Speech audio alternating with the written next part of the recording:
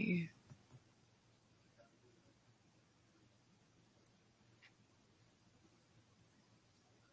Like my back is fucking aching, dude. Right, right, fucking, right here.